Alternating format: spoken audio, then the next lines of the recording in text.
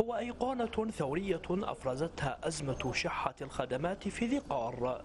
عقد كامل مر ولا يزال الحاج عبد الزهر الشيال يرتدي كفنا بلون لحيته البيضاء فوق ملابسه ويحمل مروحة يدوية بدائية في كفه ويدفع حاوية نفايات بكفه الأخرى.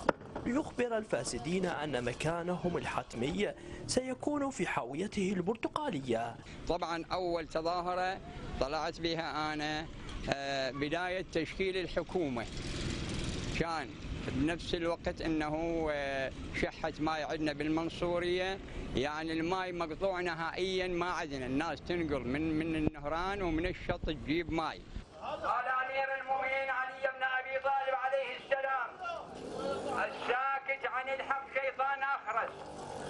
وبعد العام 2014 أضاف الشيال لما يحمله من أدوات احتجاجية. صورة وروح يعلقها على صدره لفلذة كبده. ذلك القربان الذي قدمه لتحرير العراق. مستمر بالتظاهرات ولن أترك التظاهرات حتى لو أتقرم. يعني اكو أكو اذيه أكثر من هذه يوم 15 يوم الأحد اللي أنا تعرضت عليها وقصدني هذا أبو السيارة. تلقيت أبو السيارة مال مال الماي هذا مال الشغب شوف عيني لأن أذى الناس تلقيته جايب أسلاك شائكة وجايب خشب أمامه فاقتحمته أنا. تلقيته هيك؟ كضيت الدعامية لا من الباب ولا من الباب الخلفي. كضيت الدعامية وطبقت عليه وظليت اصيح عمي الناس عمي الناس تأذت. ابني ارجع لورا ابني ارجع لورا ابني ذول أخوانك يا معود يا بالغيرة.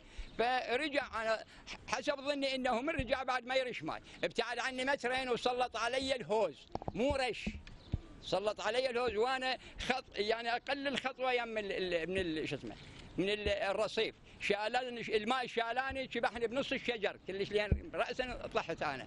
لكن أحدا لم يتخذ إجراء بحق من ضربه أو وجه بضربه وكأن المسؤولين صم بكم عمي.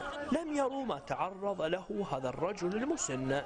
من ذي قار غزوان الغزي الشرقية نيوز.